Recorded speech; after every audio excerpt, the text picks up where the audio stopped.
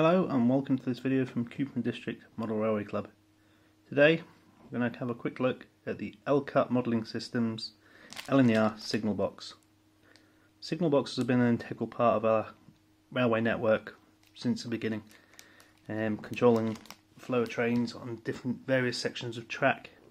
Um, a lot of them now, as you'll probably know yourselves, have been demolished or replaced with centralised signalling centres in major cities and junctions, but some still remain, and it's something that you know looks good on a layout. Um, and it's quite nice. So let's go on, have a look at this. Now, as it says in the bottom here, it's wood glue for the main fiberboard parts. It's all laser cut. We'll have a look and see what is in the packet. First off, instructions, contents list of everything that's in there, and quite nice diagram drawings of how it all fits together.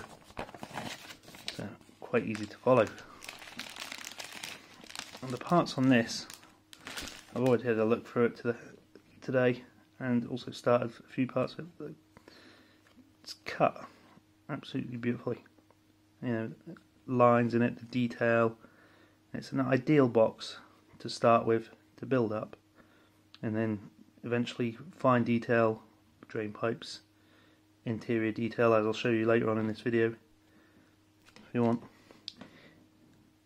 A good thing about this kit as it has got the option to build it with either a left hand or right hand side stairs. And there's two end pieces there different windows. I mean the laser cutting on this is absolutely brilliant. You can see how fine it is just down this piece here. And it's going to join onto the front. So that's your two end, oh, that's your end pieces. Again the stairs,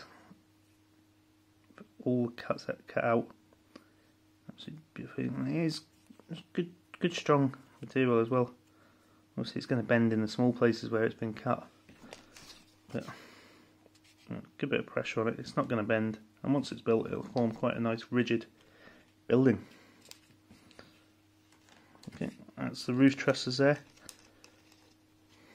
So again, giving giving the option for a nice, good, good building.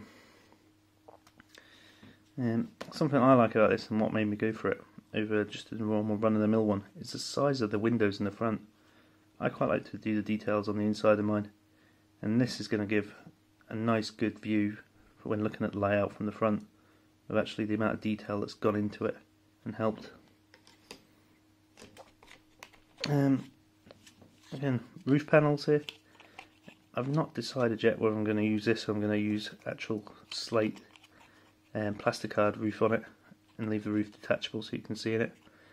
Um, it is a nice roof. It's nice, nicely cut.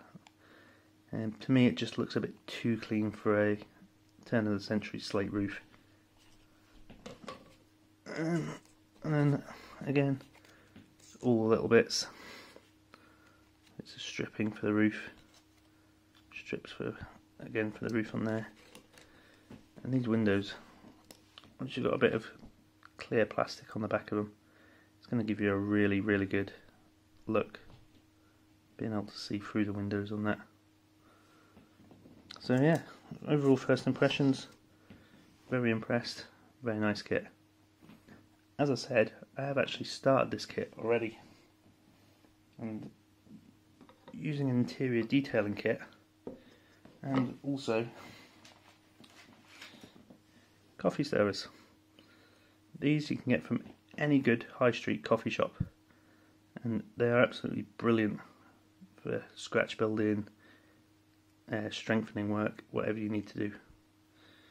And what I've used them for is this floorboards within the signal box and the shelf supported there on two bits of brass either end keeping the shelf nice and sturdy for when I put the signalling equipment on top.